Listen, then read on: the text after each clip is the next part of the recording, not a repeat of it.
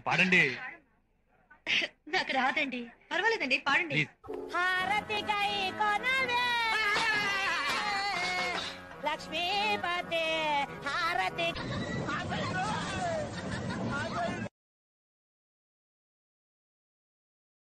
hi everyone welcome to Jaya kitchen blogs ఎలా ఉన్నారు అందరూ? చాలా రోజులైంది చాలా రోజుల తర్వాత వీడియో అప్లోడ్ చేస్తున్నా. కొన్ని ప్రాబ్లమ్స్ వల్ల చేయలేదబ్బా. అండ్ కామెడీ స్కిట్ చూసింది కదా ఇదైతే ఎప్పుడుదో వన్ వీక్ అయిపోయింది. లాస్ట్ సండే మేము అత్తమ్మ వాళ్ళ ఇంటికి వెళ్ళినప్పుడు అనమాట మా మేనత్త వాళ్ళ ఇంటికి వెళ్ళాం అత్తమ్మ అంటే మా అత్తమ్మ కాదు మా మేనత్త అంటే నాన్న వల్ల అక్క వాళ్ళ ఇంటికి వెళ్ళినాం. వాళ్ళు బోనాలు వేసుకున్నారు బోనాలకు రమ్మంటే అక్కడికి వెళ్ళినప్పుడు పిల్లలందరం కలిసి కామెడీ స్కిట్ అలా చేసినాం అన్నమాట. తనేమో మా చిన్న మేనత్త అంటే నాన్న వాళ్ళ చెల్లె. ఇప్పుడు అక్క వాళ్ళ ఇంటికి వెళ్తున్నా నాన్న వాళ్ళ అక్క వాళ్ళ ఇంటికి. వాళ్ళ ఊరు ఇంటర్లో ఇలా ఉంటుంది. అంటే ఊరు మొత్తం పోయింది వాళ్ళది. ఓపెన్ కాస్ట్ అంటారు కదా అలా. అంటే ఎల్లంపల్లి ప్రాజెక్ట్ సంథింగ్ ప్రాజెక్ట్ కోసం ఊరు మొత్తం తీసుకొని ఊరు వాళ్ళకి ఏంటంటే డబ్బులు ఇస్తారన్నమాట. పొలాలకి ఇంత అని ఇంటి కోసం ఇంత అని వాళ్ళకి అలా ఇస్తారు. అలా అలా ఊరు మొత్తం పోయింది. చాలా ఊర్లు పోయినాయి. ఒక్క ఊరు కాదు చాలా ఊర్లు పోయినాయి. కొంతమంది హ్యాపీగా తీసుకొని డబ్బులు వేరే దగ్గర వాళ్ళకి ఇస్తారు కదా అక్కడ కట్టుకున్నారు. కొంతమంది బాధపడుతుండ్రు. మా అత్తమ్మ వాళ్ళు అయితే ఇంకా వెళ్ళిపోలేదు. వాళ్ళు ఇంకా ఒక వన్ ఇయర్ ఉంటారో మరి వాళ్ళు కూడా వెళ్ళిపోతారో తెలియదు. కానీ ఎంతైనా కూడా ఎన్ని డబ్బులు ఇచ్చినా కూడా పుట్టి పెరిగిన ఊరిని మొత్తం గవర్నమెంట్ అడిగిందని ఇచ్చేసి వెళ్ళిపోవడం అంటే కష్టమే. అలా అందుకే ఏంటంటే టైం ఇచ్చారనమాట మీరు అంటే మీకు ప్రాబ్లం కానంత వరకు అంటే కొంచెం ప్రాబ్లంగా కూడా ఉందిలే.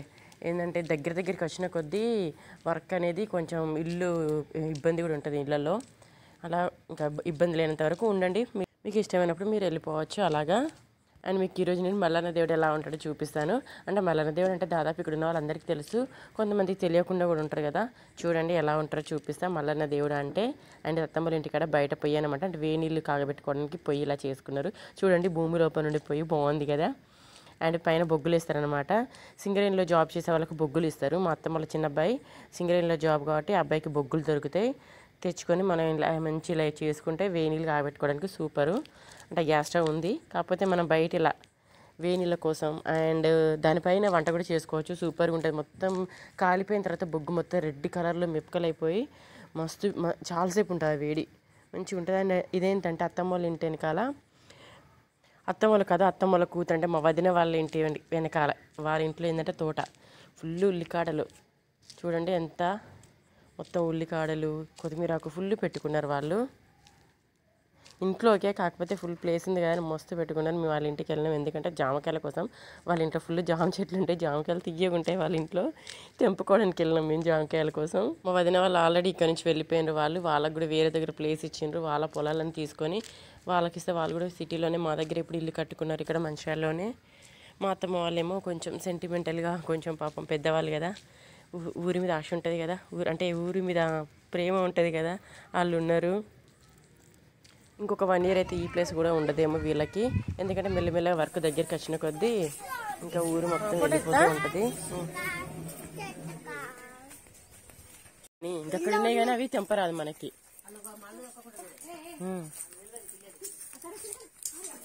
చిన్న అతర్వా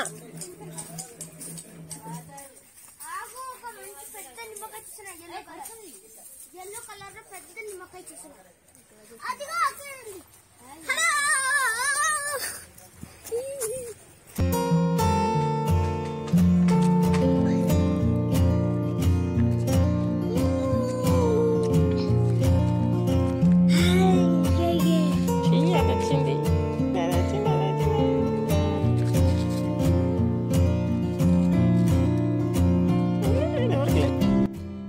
అండ్ ఇది అత్తమ్మ వాళ్ళ ఇంట్లో మీగడ చూడండి. వాళ్ళకి ఫుల్ బర్రెలు. ఏంటిది బర్రెలు అంటే ఏమంటారు? బఫిల్లెస్ ఏమంటారు? గేదెలు అంటారు కావచ్చు ఒక్కొక్కరు. మేము బర్రెలు అంటాం మా లాంగ్వేజ్లో పాలు చిక్కటి పాలు అన్నమాట చూడండి. ఒక వారం రోజులకే అంత వెళ్ళింది మీగడ. ఇదంతా ఇప్పుడు ఏంటంటే నెయ్యి చేస్తారు నెయ్యి చేసి దాన్ని ఆ నెయ్యిని మంచిగా ఆహా సూపర్ ఉంటుంది. ఫుల్గా తినడం అన్నమాట. ఈరోజు మళ్ళీ బోనాలు కాబట్టి స్వీట్ చేస్తారు ఆ స్వీట్లో వేసుకొని తింటారు. నెయ్యి ఇలా ఎంత మంచి పాలు అంటే వీళ్ళవి పట్టు పాలు అంటారు వీడు అలాగే చూడండి అవే బర్రెలు వాళ్ళవి రెండు ఉన్నాయి. అండ్ మేకలు ఫుల్ మేకలు ఉన్నాయి అత్తమ్మ వాళ్ళకి. ఆ మేక పాలు అయితే తీయరు కానీ బర్రె పాలు చాలా చిక్కగా ఉంటాయి. వీళ్ళ వీళ్ళ పాలు ఇంతవరకు నేను ఇట్లాంటి పాలు ఎక్కడ చూడలేదేమో. అబ్బా ఏమి మీగడ వెళ్తుంది ఏం చిక్కగా ఉంటే సూపర్ చిక్క ఉంటుంది అసలు. ఒక చుక్క కూడా వాటర్ కలిపి అత్తమ్మ మీకు ఇంకా నేను వాళ్ళ ఇంట్లో పెరుగు చూపించలేదు ఈరోజు. ఆహా పెరుగు అయితే ఎలా అంటే ఇలా స్పూన్తో తీస్తుంటే ఒక గడ్డు పెరుగు. సూపర్. పాలు ఎలా ఉంటే పెరుగు అలా అవుద్ది కాబట్టి పెరుగు పాలు వెన్న నెయ్యి మజ్జిగ వీళ్ళ ఇంట్లో పుష్కలంగా అన్నమాట. మళ్ళీ పూలు మ- ఆ మలాన దేవునికి ఏంటంటే బంతి పూలు ఎక్కువ ఇష్టం. ఇవన్నీ అత్తమ్మల తోటలో పూలు పల్లెటూళ్ళలో ఫుల్ ప్లేసులు ఉంటాయి కాబట్టి మంచిగా అన్నీ పెట్టుకోవచ్చు. మా దగ్గర అంతే. ఒక ఇల్లు ఇంటి వెనకాల ఫుల్ ప్లేసులు. ప్రతి ఒక్కరు అదే.